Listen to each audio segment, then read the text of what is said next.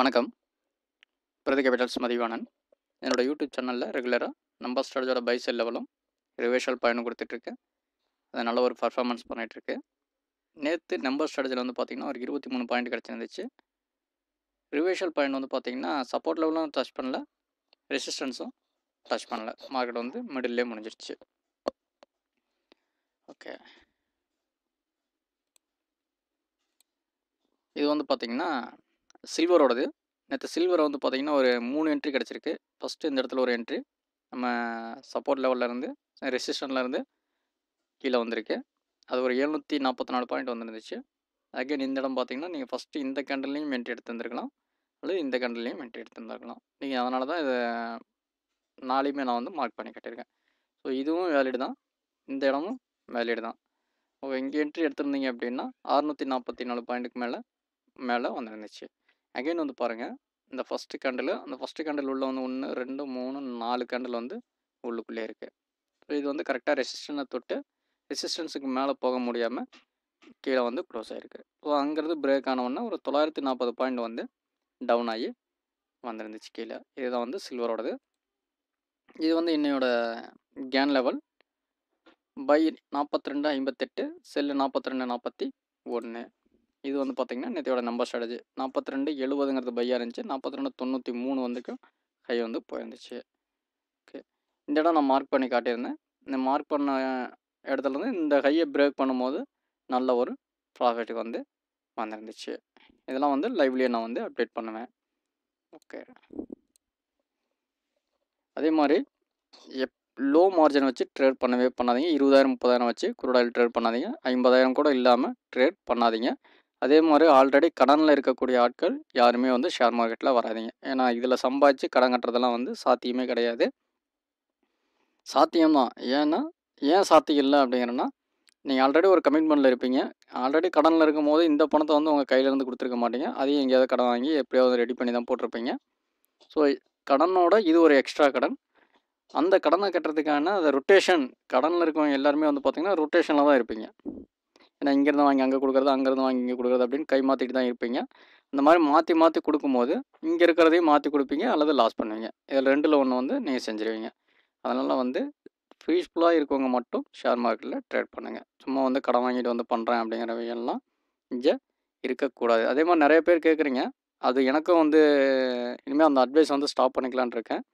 நான் கடன் வாங்கி வருவேன். என்ன வேணால் எப்படி வேணால் பணம் கொண்டு வருவேன். உனக்கு தேவை கால்ஸு கால்ஸுக்கு தேவை காசு தானே அப்படின்னு கேட்குறீங்க. ஸோ அந்த மாதிரி ஆட்கள் வந்து அந்த மாதிரி ஆட்கள்கிட்ட இருந்து வர வேண்டிய காசு எனக்கு தேவையே இல்லை. அந்த மாதிரி ஆட்கள்லாம் வந்து என்கிட்ட பேசவே பேசாதீங்க. என்கிட்ட கால்ஸும் வாங்கிக்காதீங்க. அதே மாதிரி இனிமேல் அந்த சின்ன சின்ன அமௌண்ட் வச்சு ட்ரேட் பண்ணுறவங்களுக்கு நம்ம என்ட்ரி கால்ஸ் வந்து தரதில்லை அப்படின்னு ஒரு எய்மில் இருக்கேன். அது எதனாலன்னா இதுதான் காரணம் வந்து இதுதான். ஸோ அதனால் தயவு செஞ்சு ஷேர் மார்க்கெட்டில் வந்து எப்போ வேணால் சம்பாதிச்சிக்கலாம். இன்றைக்கே சம்பாதிக்கணும்னு கிடையாது. ஷேர் மார்க்கெட் இன்றைக்கே முடிஞ்சு போகணும்னு கிடையாது. ஷேர் மார்க்கெட்டுங்கிறது எல்லா நாள்லையுமே இருக்குது ஓகே இன்னையோட நம்பர் ஸ்ட்ராட்டஜி க்ரூட் ஆயிலோட நம்பர் ஸ்ட்ராட்டஜி வந்து பார்த்திங்கன்னா buy level four two seven zero target level four two eight five sell level four two four zero target four two two five அப்படிங்கிறது டார்கெட்டாக இருக்குது இதுக்கு ஸ்டாப்லாஸ் வந்து உங்களுக்கே தெரியும். ஃபோர் டூ செவன் ஜீரோ அப்படிங்கிற இடத்துல நீங்கள் பை பண்ணியிருந்தீங்க அப்படின்னா ஃபோர் டூ டபுள் ஃபைவ்க்கு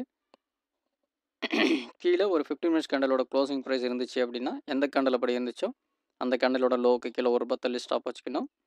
ஃபோர் டூ ஃபோர் ஜீரோ அப்படிங்கிற இடத்துல செல் ஆக்டிவேட் ஆகிருந்துச்சு அப்படின்னா அதுக்கு stop loss level four two double ஃபைவ்க்கு மேலே ஒரு ஃபிஃப்டின் மினிட்ஸ் கண்டலோட க்ளோசிங் ப்ரைஸ் இருந்துச்சு அப்படின்னா எந்த கண்டல் அப்படி இருந்துச்சோ அந்த கண்டலோட ஹைக்கு மேலே ஒரு பத்தள்ளி ஸ்டாப் வந்து மெயின்டைன் பண்ணிக்கோங்க. இன்னையோட சப்போர்ட் அண்ட் ரெசிஸ்டன்ஸ் அப்படின்னு பார்த்தோன்னா சப்போர்ட் லெவலில் தான் ஆல்ரெடி க்ரூட் ஆயில் இருக்குது ஃபோர் டூ ஃபோர் ஃபைவ் அப்படிங்கிறது சப்போர்ட் லெவலு அந்த சப்போர்ட் லெவலில் தான் மார்க்கெட் வந்து ட்ராவல் ஆகிட்டு இருக்கு. ஸோ இந்த கேண்டலோட லோவை ஃபஸ்ட்டு கண் ஃபஸ்ட்டு ஃபிஃப்டின் மினிட்ஸ் கேண்டலோட லோவை ஸ்டாப்பாக வச்சு என்ட்ரி எடுத்தாலும் எடுக்கலாம். அல்லது வெயிட் பண்ணி இந்த ஃபார்ட்டி ஃபைவ் டச் பண்ணும்போது என்ட்ரி எடுத்திங்கன்னா இன்னும் கொஞ்சம் பெட்டரான ரிசல்ட்டாக இருக்கும். அடுத்த சப்போர்ட் லெவல் அப்படின்னு பார்த்தோன்னா four two three five four two zero two four one double eight four one double four four one three four four one two eight அப்படிங்கிறது அடுத்தடுத்த சப்போர்ட் லெவலாக இருக்குது ரெசிஸ்டன்ஸ் அப்படின்னு பார்த்தோம் அப்படின்னா four two eight four four three zero six four three one three four three eight zero double four double seven அப்படிங்கிறது அடுத்தடுத்த resistant லெவலாக இருக்குது இது எப்பயுமே இந்த சப்போர்ட் ரெசிஸ்டன்ஸில் வந்து எப்படி என்ட்ரி எடுக்கணுங்கிறது நான் ரெகுலராகவே சொல்லிட்டு தான் இருக்கேன். உங்களோட சப்போர்ட் லெவலையோ ரெசிஸ்டன்ட் லெவலையோ டச் பண்ணுற வரைக்கும் நீங்கள் எந்த ஒரு என்ட்ரியும் எடுக்கக்கூடாது. ஓகே சில்வரை பொறுத்த வரைக்கும் இன்றைக்கி